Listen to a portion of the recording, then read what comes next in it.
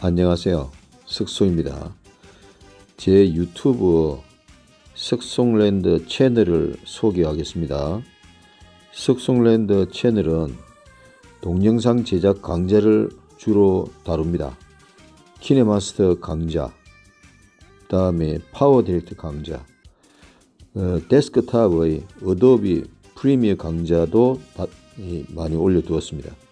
그리고 각종 그 카톡이라든가 스마트폰 사용법, 다음에 ICT 관련, 유튜브 업로드 관련, 유튜브 채널 채널 관리 방법, 어, 유튜브 크리에이터 스튜디오 사용법 등등 강좌도 올리고 다음에는 제가 음악을 좋아해서 음악 동영상과 다음에 여행 동영상 그리고 아름다운 시 동영상 이런 예, 것을 올려두는 그런 이 채널입니다.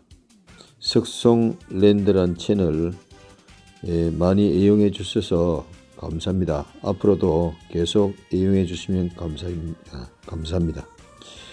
유튜브 석송랜드의 석송입니다. 감사합니다.